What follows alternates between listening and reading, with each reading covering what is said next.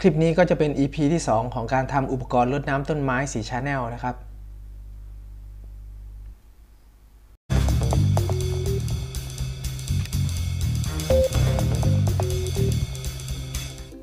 สวัสดีครับ พบกับผมในช่องจัก DIY นะครับ หลังจากที่ผมได้ปล่อยคลิป EP 1 ออกไป ก็มีคนอยากได้กล่อง control และติดต่อเข้ามาให้ผมประกอบให้ ทั้งๆที่ยังไม่เห็นเลยนะครับว่าโปรเจกต์นี้ผมจะออกแบบให้มีฟังก์ชันอะไรบ้าง แต่ก็สั่งกันเข้ามาก่อนแล้ว ผมก็ได้ประกอบพร้อมสร้างแอป และอัปโหลดโค้ดให้พร้อมใช้งาน และจัดส่งเรียบร้อยแล้วนะครับ ก็ขอขอบคุณมากนะครับที่สั่งกันเข้ามา และไม่ต้องห่วงนะครับโปรเจกต์นี้ผมจะพัฒนาต่อไปอีก และคอยอัปเดตให้อยู่เรื่อยๆนะครับ ก่อนจะไปถึงขั้นตอนการอัปโหลดโค้ดผมอยากให้เปิดแอป Blink ที่ได้สร้างไว้แล้วใน EP 1 ขึ้นมาก่อนนะครับ จากนั้นก็กดเข้าไปที่ device ที่ชื่อว่า watering 4 channel เพื่อเข้าไปที่หน้าควบคุมนะครับ ที่หน้าเมนจะเห็นว่ามีบัตทอนสำหรับควบคุมวาล์วที่ชื่อว่าวาล์ว1วาล์ว2วาล์ว3และวาล์ว4ให้เราสามารถกดสั่งงานวาล์วแต่ละตัวได้ นอกจากนี้จะเห็นว่ามีบัตทอนอีกหนึ่งตัวที่ด้านล่างสุดที่ชื่อว่า all valve ปุ่มนี้ผมออกแบบไว้สำหรับให้กดเพื่อสั่งงานวาล์วทั้ง 4 ตัวพร้อมกันนะครับ เมื่อกดปุ่ม all valve ให้มีสถานะ on วาล์วทั้ง 4 ตัวก็จะทำงานพร้อมกัน และเมื่อกดปุ่ม all valve ให้มีสถานะ off วาล์วทั้ง 4 ตัวก็จะหยุดทำงานพร้อมกันนะครับ และถ้าใครที่เคยดูคลิปการสร้างโปรเจกต์แรกใน New Blynk 2.0 ที่ผมเคยทำไว้ จะเห็นว่าหนึ่งในลูกเล่นที่มีในแอป Blynk IoT คือการเพิ่มปุ่มกดไว้ที่หน้าแรก แล้วลิงก์ไว้กับ Data Stream เพื่อให้เราสามารถกดสั่งงานปุ่มนั้นๆ ได้จากหน้าแรก โดยไม่ต้องกดเข้ามาที่หน้าควบคุมตรงนี้เพื่อประหยัดเวลานะครับและจากฟังก์ชันของปุ่ม all valve ในโปรเจกต์นี้ผมก็จะทำการลิงก์ปุ่ม all valve เอาไว้เพื่อจะกดสั่งงานวาล์วทั้ง 4 ตัวพร้อมกันได้ที่หน้าแรกนะครับก็ให้กดไปที่เครื่องหมายกากบาทที่มุมซ้ายบนเพื่อกลับไปที่หน้าแรกก่อนนะครับจริง ๆ แล้วเราไม่จำเป็นต้องลิงก์ไว้กับ button อย่างเดียว แต่เราสามารถลิงก์ไว้กับ indicator ตัวอื่นๆได้นะครับอย่างเช่นในโปรเจกต์ watering ตัวนี้ที่เป็นรีเลย์2 channel ผมทำการลิงก์เลเวลไว้กับค่าความชื้นในดินที่หน้าแรกแอปก็จะโชว์ค่าความชื้นในดินเป็นเลเวลของ Data Stream ที่ชื่อ soil moisture นะครับก็ขึ้นอยู่กับว่าเราจะเลือกลิงก์ไว้กับ indicator ชนิดไหนนะครับสำหรับโปรเจกต์นี้ผมจะลิงก์ button ไว้กับ Data Stream ที่ชื่อว่า all valve นะครับ ก็ให้กดไปที่เครื่องหมายประแจที่มุมขวาบนเพื่อเข้าไปที่หน้า developer mode จากนั้นให้กดค้างไปที่เทมเพลตที่เราต้องการ ในที่นี้คือ watering 4 channel นะครับ จากนั้นก็กดไปที่จุด 3 จุด แล้วเลือก change type type ตรงนี้จะเลือกเป็น button นะครับ จากนั้นก็เลื่อนลงมาแล้วเลือก select data stream เลือก all valve เสร็จแล้วเลื่อนลงมาที่ด้านล่าง เราจะสามารถเลือกไอคอนเพื่อแสดงที่หน้าแรกได้ ว่าเมื่อสถานะของ all valve เป็น off จะแสดงไอคอนตัวไหน เมื่อค่าเป็น on จะแสดงไอคอนตัวไหน ก็ให้กดไปที่ไอคอนแล้วค้นหาไอคอนที่ต้องการผมกดค้นหาคำว่า rain หรือฝนนะครับเพื่อให้เข้ากับโปรเจกต์รดน้ำต้นไม้ จากนั้นก็เลือกไอคอนที่ต้องการออกมาสำหรับ state on ผมจะเปลี่ยนพื้นหลังให้เป็นสีเขียวนะครับ เสร็จเรียบร้อยแล้วกดเครื่องหมายกากบาทที่มุมซ้ายบน หลังจากกดออกไปแล้วจะเห็นว่าไอคอนและ Data Stream หายไป ซึ่งเป็นปัญหาเดิมที่ผมเคยเจอตอนทำคลิปโปรเจกต์แรกใน New Blink 2.0 ผมก็ยังไม่แน่ใจนะครับว่าผมทำให้เป็นหรือเป็นปัญหาของแอป แต่วิธีแก้ของผมก็คือทำซ้ำๆไปเรื่อยๆ จนกว่าจะได้นะครับ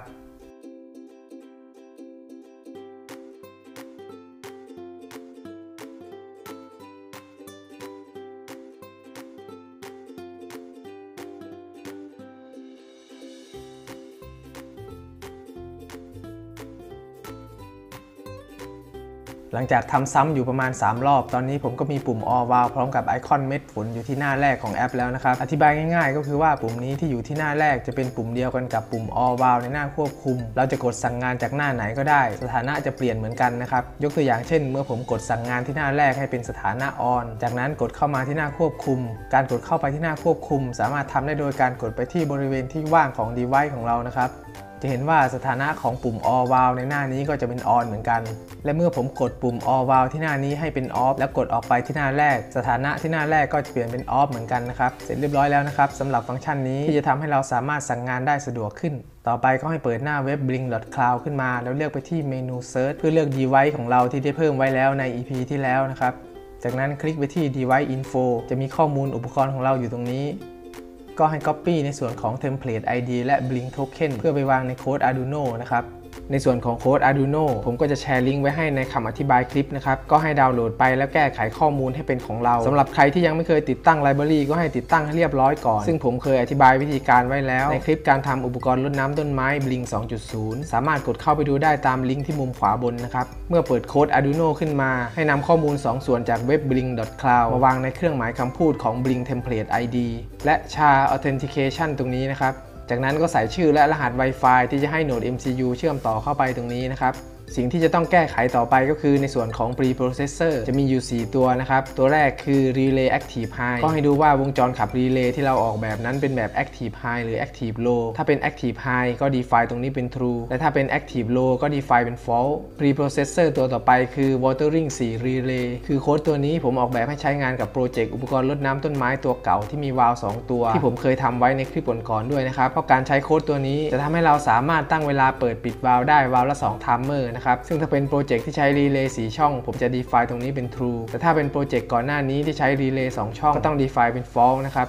preprocessor ตัวต่อไปคือ line notify support คือเป็นการเปิดใช้งาน line notify ให้บอร์ดส่งข้อความมาหาเราผ่านทาง line เมื่อวาล์วทำงานหรือหยุดทำงานจากการตั้งเวลา เพื่อให้เรามั่นใจว่ากล่อง control ของเรานั้นยังทำงานได้ตามปกติ ไม่ได้เสียหรือ hang หรือขาดการเชื่อมต่อไปนะครับ ถ้าจะเปิดใช้งานฟังก์ชันของ line notify ก็ให้ define ตรงนี้เป็น true เมื่อ define preprocessor เป็น true แล้วก็ต้องเปิดใช้งาน line notify แล้ว copy line token มาวางในเครื่องหมายคำพูดของ line token ตรงนี้ด้วยนะครับ สำหรับการ define preprocessor เป็น true หรือ false ถ้าไม่แน่ใจว่าจะสะกดถูกต้องหรือเปล่า ก็สามารถเลื่อนขึ้นไปแล้ว copy คำว่า true หรือ false มาจากตรงนี้ได้นะครับสำหรับโปรเจกต์นี้ผม define preprocessor เป็น true ทั้งหมด เพราะผมใช้วงจรขับ relay เป็นแบบ active high ใช้บอร์ดที่มี relay 4 ช่อง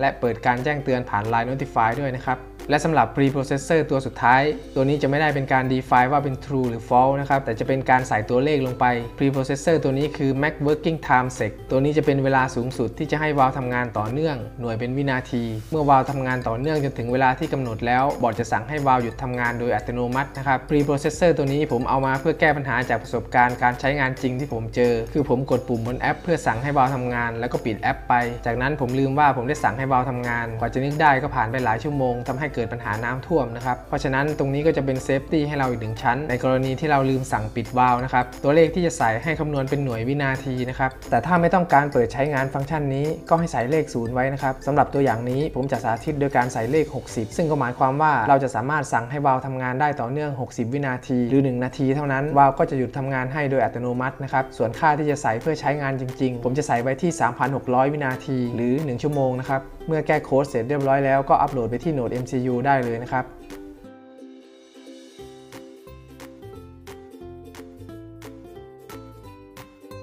และตอนนี้ผมก็อัปโหลดโค้ดเสร็จเรียบร้อยแล้วนะครับ จาก wiring diagram ตรงนี้จะเห็นว่าผมใช้ terminal block 6 ช่องสำหรับต่อไปที่วาล์ว4ตัว คือผมใช้ช่องที่ 1 ถึงช่องที่ 4สำหรับต่อออกไปที่วาล์วทั้ง 4 ตัว และสายไฟอีก 1 เส้นของวาล์วแต่ละตัว ผมจะให้ต่อเข้าที่ช่องที่ 5 และ 6 ซึ่งก็คือช่องของกราวมี 2 ช่องสำหรับวาล์ว4ตัว ก็ให้เอาเข้าช่องละ 2 เส้นตามในรูปนะครับจากนั้นก็ทดลองเสียบปลั๊กนะครับอธิบายนิดนึงก่อนจ่ายไฟเข้าไปที่กล่องนะครับเนื่องจากว่าบอร์ดนี้ผมออกแบบวงจรควบคุมรีเลย์ให้เป็นแบบ active high เมื่อเราจ่ายไฟเลี้ยงเข้าไป MCU จะยังไม่ run โค้ดที่เราอัปโหลดเข้าไป แต่จะอยู่ใน reset state หรือ boot state ซึ่งใน state นี้ pin ของ Node MCU ที่ผมใช้สำหรับควบคุมรีเลย์1 2 และ 3 นั้นจะมีสถานะเป็น high ซึ่งตรงกับวงจรควบคุมรีเลย์ที่ผมออกแบบไว้ ผลจากตรงนี้เมื่อเสียบปลั๊กเพื่อจ่ายไฟครั้งแรกรีเลย์1 2 และ 3 จะ on ในช่วงเวลาสั้นๆ ไม่ถึง 1 วินาทีก่อนทุกครั้งนะครับพฤติกรรมตรงนี้จะส่งผลให้ load ที่เราต่ออยู่กับรีเลย์1รีเลย์2และรีเลย์3นั้นทำงานเป็นเวลาสั้นๆ ทุกครั้งที่เราจ่ายไฟให้บอร์ด หรือทุกครั้งหลังจากไฟ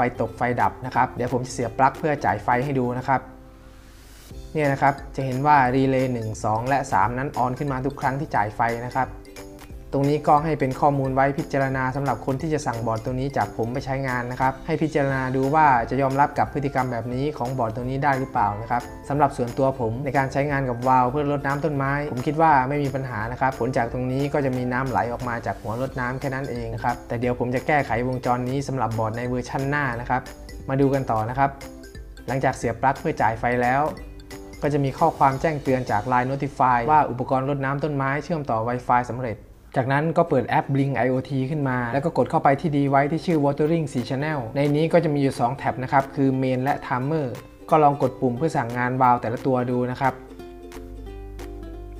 และเมื่อวาล์วทั้ง 4 ตัวออนเหมือนกันทั้งหมด ปุ่ม All Valve ก็จะออนขึ้นมาด้วยนะครับ เพื่อให้เราสามารถสั่งปิดวาล์วทุกตัวพร้อมกันได้ ด้วยการกดปุ่ม All Valve แค่ปุ่มเดียว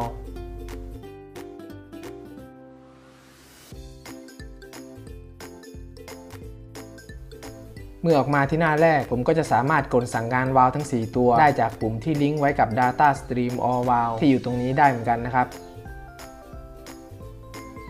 ต่อไปมาดูสวิตช์บายพาสที่ติดอยู่ด้านข้างของกล่องกันนะครับ สวิตช์ทั้ง 4 ตัวนี้จะเป็นบายพาสเพื่อสั่งให้วาล์ว on ในกรณีที่วาล์ว off อยู่เท่านั้นนะครับ ความตั้งใจของผมคือจะเอาไว้สำหรับเวลาที่เราอยู่ที่หน้ากล่อง control แล้วไม่มีมือถือสำหรับสั่งให้วาล์วทำงาน เราจะสามารถโยกสวิตช์ไปที่ตำแหน่ง on เพื่อสั่งให้วาล์วทำงานได้ แต่ถ้าหากว่าวาล์วตัวนั้นถูกสั่งให้ on จากแอปอยู่แล้ว เราจะไม่สามารถใช้สวิตช์บายพาสควบคุมการทำงานของวาล์วได้เลยนะครับเช่นเดียวกันเมื่อเราโยกสวิตช์ไปไว้ที่ตำแหน่ง on วาล์วจะทำงาน เราก็จะไม่สามารถใช้แอปควบคุมให้วาล์ว off ได้นะครับ สรุปง่ายๆ คือ ถ้าสั่งวาล์ว on จากสวิตช์ก็ต้องสั่ง off จากสวิตช์ถ้าสั่ง on จากแอป ก็ต้องสั่งให้ off จากแอปนั่นเองนะครับและข้อควรระวังของการใช้งานสวิตช์บายพาสที่กล่อง control ก็คือ เมื่อสั่ง on จากสวิตช์และใช้งานเสร็จแล้วอย่าลืมโยกกลับมาไว้ที่ตำแหน่ง off ด้วยนะครับและตอนนี้วาล์วทั้ง 4 ตัวนั้น off อยู่ หมายความว่าผมสามารถใช้สวิตช์สั่งให้วาล์ว on ได้ทั้ง 4 ตัวเลยนะครับ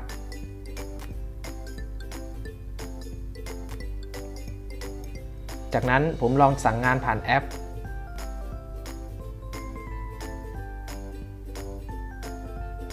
จะเห็นว่าไม่สามารถสั่งงานได้นะครับ เมื่อผมโยกสวิตช์ทุกตัวกลับมาไว้ที่ตำแหน่งออฟผมก็จะสามารถสั่งงานวาล์วผ่านแอปได้ตามปกตินะครับ ทีนี้ผมจะลองทดลองฟังก์ชันหยุดทำงานอัตโนมัติที่ผมตั้งไว้ในโค้ดเป็น 1 นาทีนะครับ ฟังก์ชันนี้จะใช้ได้เฉพาะเมื่อสั่งงานจากแอปนะครับ ผมสั่งวาล์วตัวที่ 2 และ 4 ให้ทำงานแบบเหลื่อมกันนิดๆ แล้วปล่อยทิ้งไว้นะครับ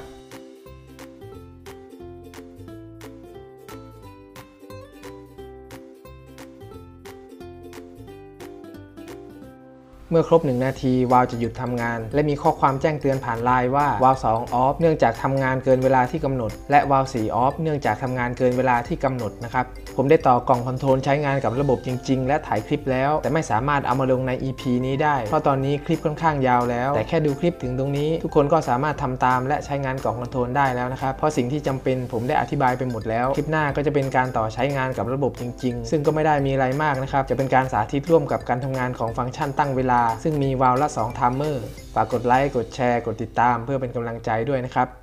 สำหรับคลิปนี้ผมก็จะขอจบเพียงเท่านี้ ขอบคุณครับ